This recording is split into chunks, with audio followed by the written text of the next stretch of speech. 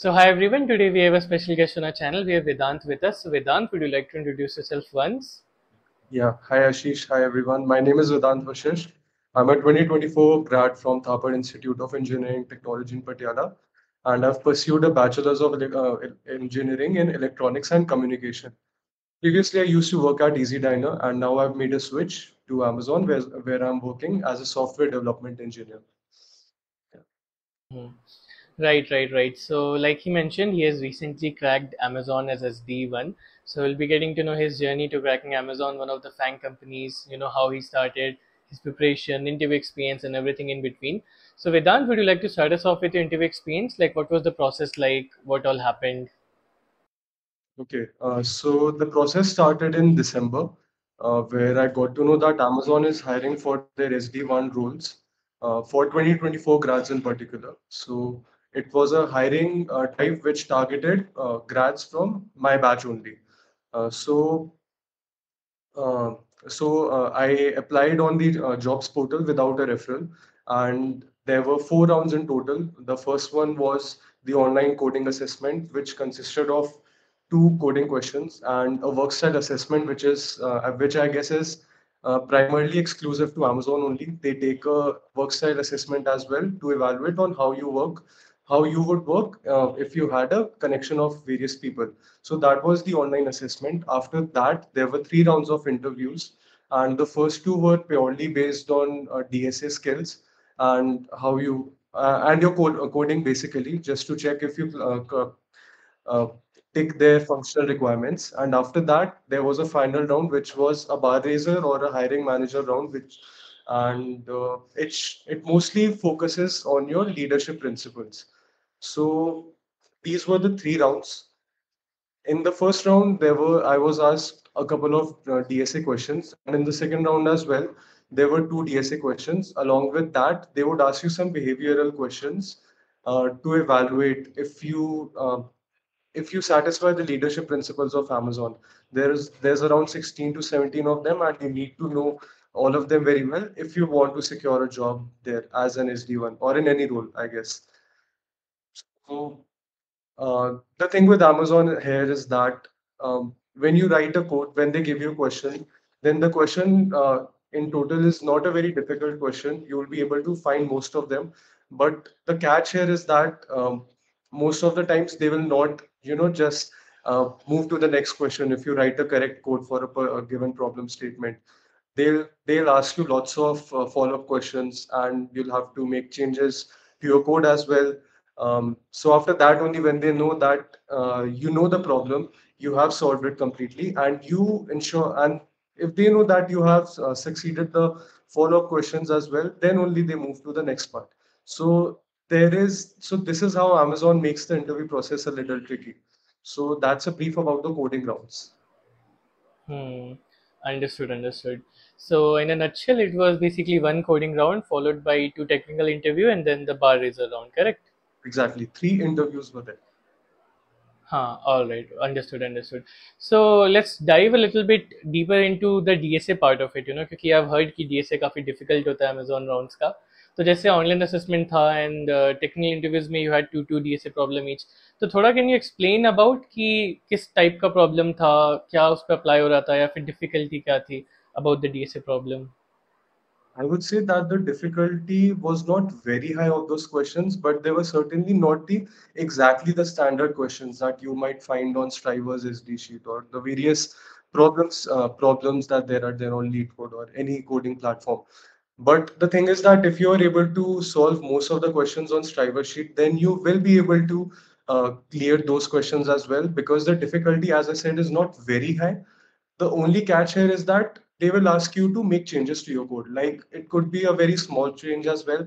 Like they might simply ask you to change the return type of your function, or they might say that we do not want to use this particular input. We want to create a new container or a new matrix. So that is the overall, you know, overall structure of the interviews. Now diving a little bit deeper on the questions, mostly they focus on the core topics like dynamic programming, graphs, trees. Mostly I was evaluated on these as well. Uh, mostly uh, the questions were of these topics as well. So I think uh, I would say that for cracking FAANG, uh, these topics are probably the most Hmm. important. Definitely, definitely. Like even like you said, FAANG, right? Even Google, Microsoft, other type of companies, you need to have these three arrows in your arsenal. You need to know DP, you need to know graph, you need to know trees unless you know these three right it's good for other companies but for FAANG or high level product based company ye teen topic to aapko aane hi chahiye acche se hai na? That is uh, essential. Like if you're trying to big company then you have to make sure that all of your boxes are ticked because this is not something that you you don't get a shot at such companies every single day. So you make sure you take all the boxes and there's no stone left unturned. Mm, correct. Very very well said. All right. So, apart from uh, DSA, you said there were behavioral questions in the interview. Was there any system design at all on the level that you applied? Any sort of system designing? Not exactly system design. Also, uh, although I did prepare system design for these rounds because uh, now these things are interview specific. Sometimes they will ask you system design, sometimes they won't. It purely depends on the interview.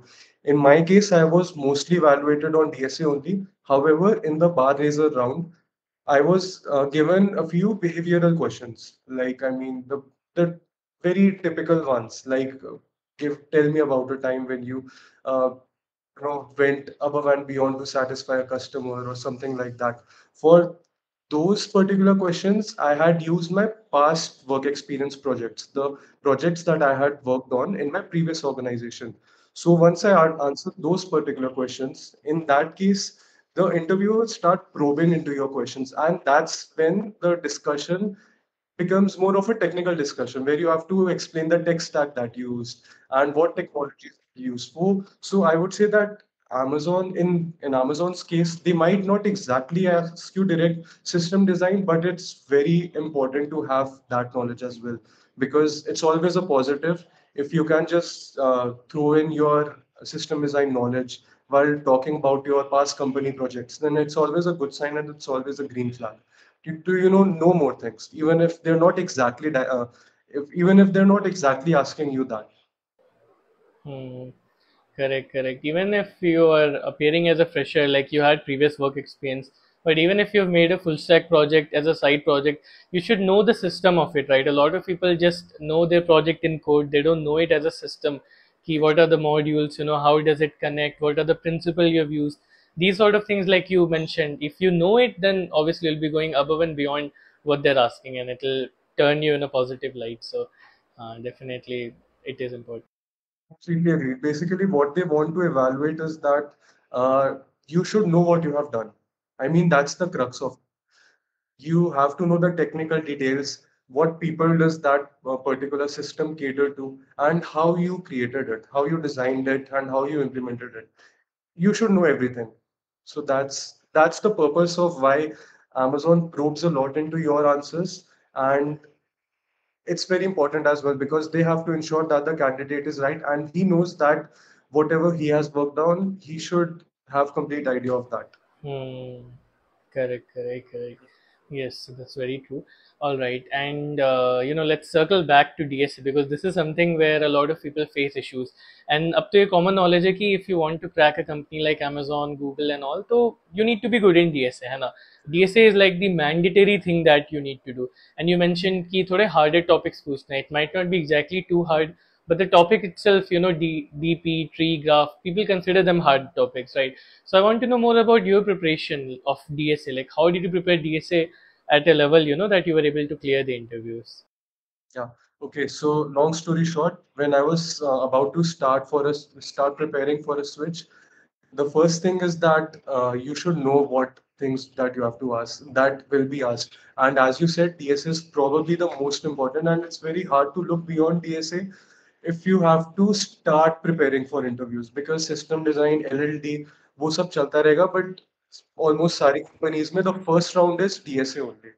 Same in the case of Amazon. So after when I got to know that yes, DSA is something that I have to master at this stage as well, then I started looking for various resources, and there's a lot of them.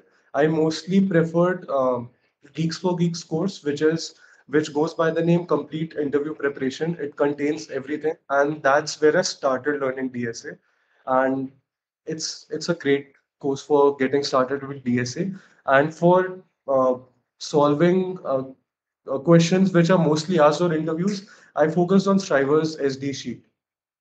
Yeah. So I focus on Strivers SDE sheet for that um, as it contains basically uh, it contains all the topics and it may not contain the follow-up questions or the uh, sequel parts of the question that you are solving but it makes sure that you touch all the topics all at once so that was the primary thing and now i'd like to add one more thing to it that my preparation lasted for like uh, around 6 to 7 months for dsa itself for dsa only so um, in this uh, in this time only one more course of uh, GeeksforGeeks are launched launched, which goes by the name of GFG 160. And in that, what uh, the thing was that in in for 160 days they would add one single question uh, based on any given data structure for a period of 160 days. So I started doing that as well when I had crossed around four to five months into my preparation. I started using GFG 160 as well to revise everything that I've studied so far. So I think the co- a combination of these three things, GeeksforGeeks complete interview preparation course, Strivers SDE sheet, and GFG 160. I think these three were uh, completely sufficient in cracking the DSA part of the interviews. So because it's very important, you need to know what you are doing, and just simply writing the correct code does not work. They will for sure ask you to, you know, either optimize your question or ask you lots of uh, follow-up questions or probe into why you have particularly used this logic and if if there is anything else as well that you can try here so that's for the dsa part Hmm, understood, understood.